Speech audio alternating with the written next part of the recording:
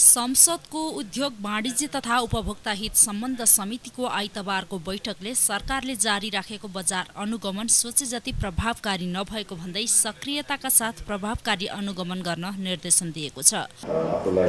क्रियाशील भएको छ र थप यो मध्यनजर राखेर थप क्रियाशील र हाम्रो हामीसँग सम्बन्धित उपभोक्ताहरूले कम्तीमा पनि समिति मार्फत हाम्रो खोजी निम्दा र निगरानी हाम्रो सहजताको लागि गरिराखेको छ भन्ने खालको महसुस गर्न सकोस्।